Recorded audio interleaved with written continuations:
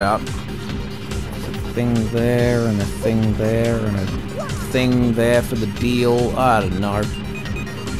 Yeah. Oh my god, Vivian's body just kind of drips to the bottom of the stage. It's kind of creepy.